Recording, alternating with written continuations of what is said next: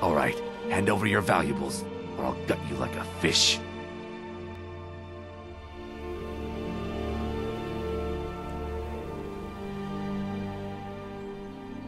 Don't you walk away from me. Never should have come here. Hmm? No more. I yield. I yield.